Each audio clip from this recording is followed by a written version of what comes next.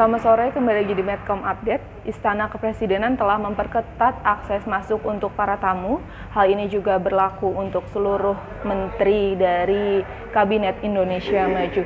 Berdasarkan pantauan medcom.id, para menteri ini harus melewati pos pemeriksaan suhu tubuh sebelum memasuki kawasan Istana Negara Jakarta Pusat. Hal ini guna mencegah penyebaran kasus uh, atau virus corona di kompleks Istana Kepresidenan. Beberapa menteri yang telah melewati posko pemeriksaan ini yakni Menteri Luar Negeri Retno Marsudi, Menteri Ketenagakerjaan Ida Fauzia, Menteri Pariwisata Wisutama, lalu Menteri Komunikasi dan Informatika Joni G. Plate, ada pula juga Menteri Koordinator Bidang Maritim Luhut Binsar Panjaitan.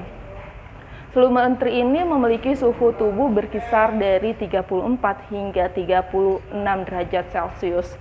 Adapun tamu yang memiliki suhu di atas 37,5 derajat Celcius ini akan dipersilakan pulang atau tidak boleh memasuki kawasan Istana Kepresidenan.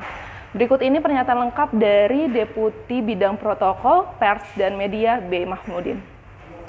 Jadi sejak kemarin diputuskan oleh uh, Presiden, kemudian dan Pak Pampres dan juga Spes Militer bahwa mulai hari ini uh, dilakukan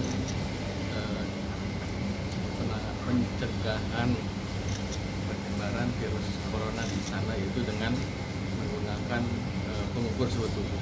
Jadi mulai hari ini sebelumnya sudah diberikan tapi hanya sebatas himbauan. Tapi sekarang secara fisik dilakukan pengukuran setiap tamu yang akan datang ke istana. Nah itu seandainya 37,5 mereka diminta untuk kembali jadi tidak perlu masuk ke dalam itu diberlakukannya untuk siapa saja Pak? Apakah pejabat, tamu-tamu semua yang hadir juga akan diberlakukan untuk cek suhu tubuh? Untuk pejabat dan semua yang akan ke istana, ya termasuk pegawai juga, termasuk pas pampres, pegawai, menteri, dan juga teman-teman wartawan juga tadi kan diperiksa kan, ya Pak Menteri-Menteri, semua yang masuk ke kompleks istana akan diperiksa.